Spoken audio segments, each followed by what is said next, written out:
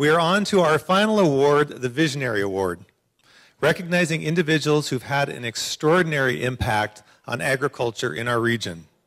Please help me welcome Scott Williams as he inducts Jim Holmes and John Williams into the Ag Hall of Fame with the 2022 Visionary Award.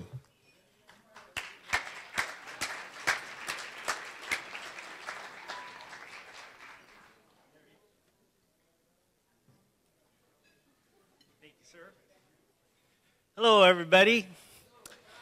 I, I, you all made the wrong choice for who should go last.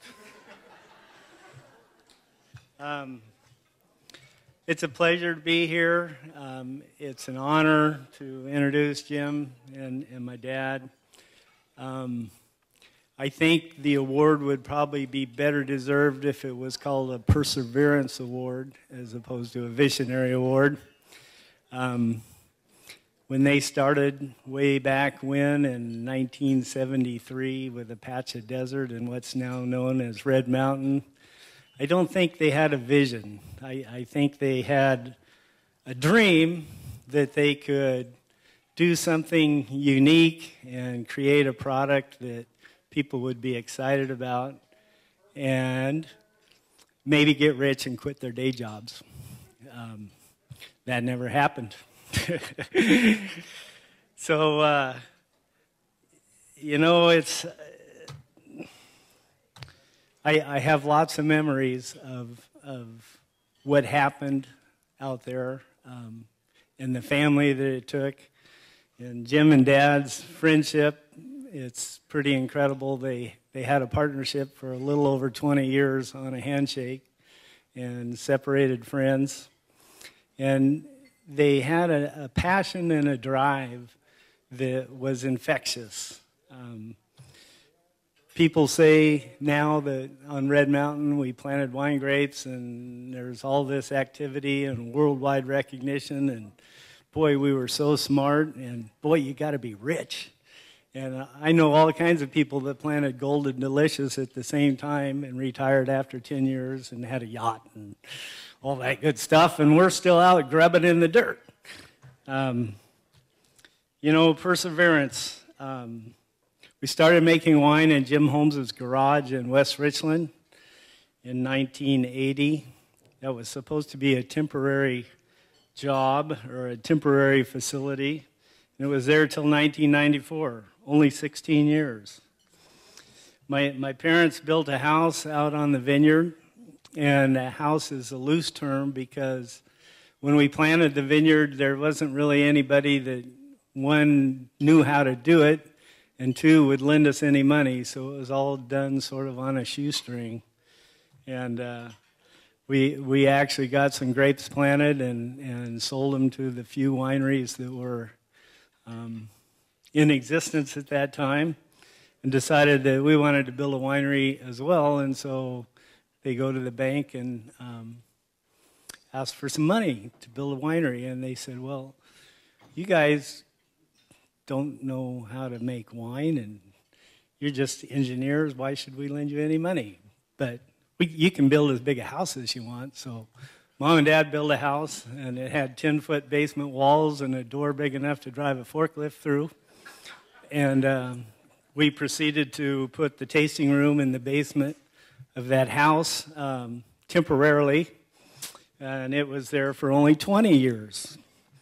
But the idea that anybody would come to Benton City and on vacation and taste wine was pretty ludicrous. So, anyhow, um, the tasting room in the basement of the house worked pretty well. Mom had to get up in the morning and vacuum fruit flies out of the bathroom and uh, put up with bottling, which was in the basement, and We'd drive the big truck, and the wine would go through the basement in a hose like so, and there'd be people clinging around it down there, bottling wine and making noise. And anyhow, it was all great fun.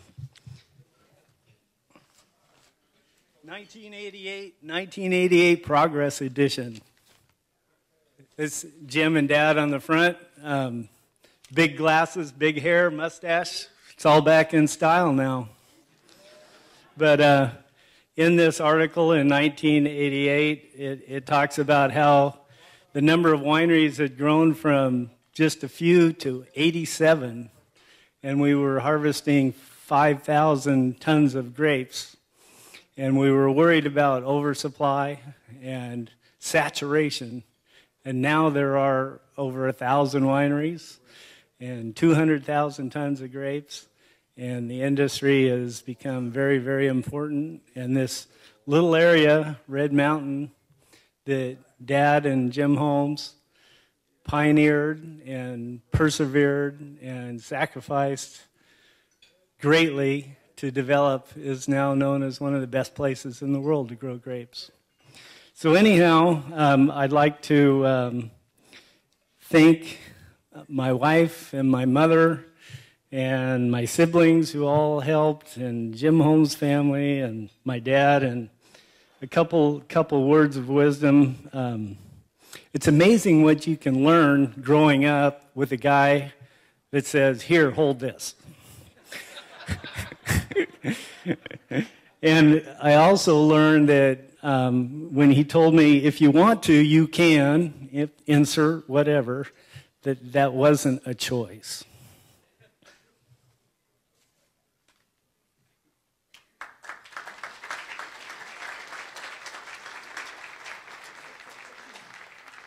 When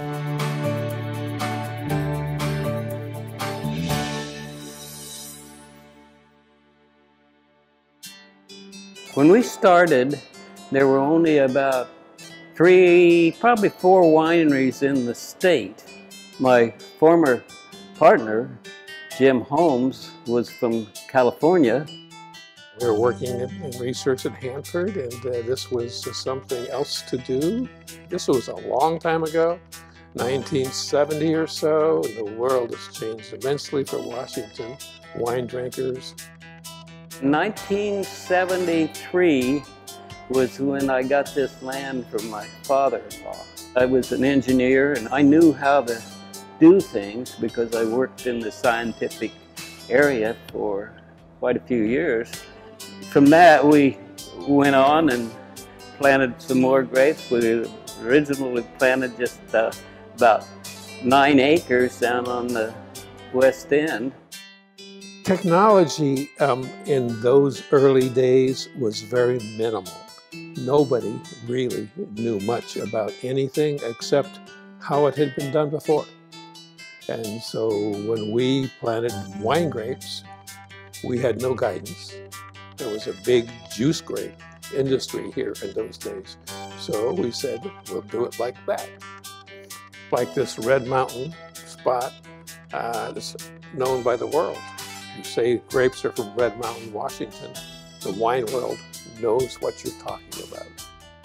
If you're in engineering, you're a problem solver. That's, I think, the thing that got us uh, the ability to learn and progress over a period of time. I enjoy just being here. I enjoy being outside. I enjoy growing grapes. I enjoy seeing how the, what we do changes, the way the, the wine comes out. It's every year is an adventure. It's just been a great life. It's been a wonderful place to be, a wonderful time to be here.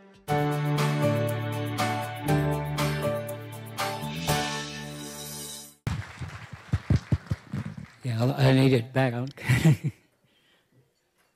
well, I guess I'm up now. I uh, I was very surprised when I was chosen to come and be a presenter here. My uh, son uh, that introduced introduced me here, and uh, he's been a big part of our winery and our wine business, and over all of the years. So my my uh, feeling about the whole area here and all the great things that have been gone on since I first came here. It uh, was uh, a time when there was lived in Richland. There was if you didn't live in you didn't work at Hanford, you couldn't live there. And I was thinking about when we were driving out here today how much area, cities, new housing, and the whole place has just exploded. And from my standpoint, anyway. And uh, I remember we used to come over here all the time and have uh, wine, uh, wine functions here with uh, all the wineries in Washington that were here at that time. And then when I started, there weren't very many wineries here, and everybody.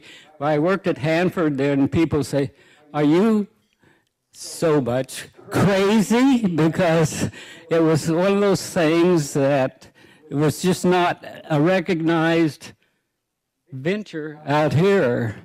So anyway, I started. Uh, we started a grape vineyard and a wine grape vineyard, and uh, at that time, the only thing that was grown around here were uh, grape grape wines, uh, or grape juice grapes, and uh, so it was quite a difference. And when we started, people thought, "Oh my God." You guys don't know what the heck you're doing. And the fact is, we didn't know a hell of a lot of what we were doing. So, so it was a matter of learning and experimenting and uh, and just overall having the uh, the go ahead uh, to invest everything that we had. And at that time, when we were going to grow grapes or starting wine, nobody would lend us any money. They uh, they said wine grapes, that, that was not, there weren't very many in the state of Washington at that time. I think probably when we started, there were some less than six, seven wineries, something like that.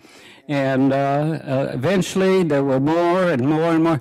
Now there's, I think, over a thousand wineries in, in the Washington state. So it was, it was quite a, quite a change. It was a period of time when when things were experimenting, we didn't have much other input that we were able to use to uh, ven- to venture into this business, and so pretty much everything we did was right just by pull, pulling up our boots and heading out there. I know you guys have a lot of cowboy hats out here. I didn't wear my cowboy hat. so anyway, I, uh, I think that the thing of it is, is that it was, it was a, it was a real adventure for us. And when I started, we both my part, former partner Jim Holmes and I, we were both. Uh, I met him on the first day I went to work at Hanford, and he was from California, and so I helped him drink his collection of wines. And we thought, oh my God, that's pretty good stuff, because I was just a beer drinking kid before that. And uh, so, anyway, uh, from that point on, we were able to uh, expand our grape vineyard a little bit at a time. And you, my son there, uh, he went to, he went to WSU in agricultural engineering and then worked for us and worked for himself. And pretty soon we had pretty much filled up a good, pretty good spots on Red Mountain. And before Red Mountain, when we went out there, people says, "What are you doing out there?" So anyway, we figured that. Uh, after drinking a few glasses of wine, we said, "Oh God, we can probably do this."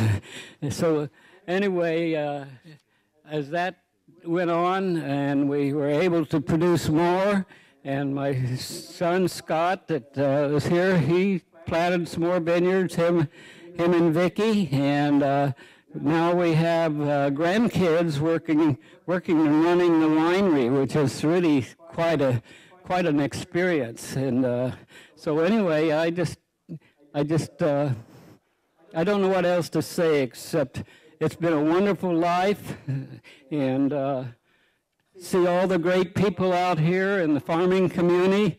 And you know, when we started the, in Richland It was only be if you if you weren't didn't work for Hanford, you couldn't live there. So it's really changed now. I noticed that when we're coming over here, there's houses every place.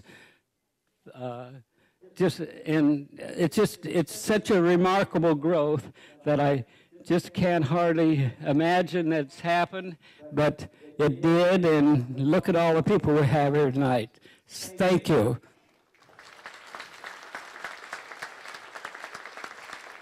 Stay right there. Okay. So we are going to give you your award, and to present that award is Jared Bailey with RDO Equipment.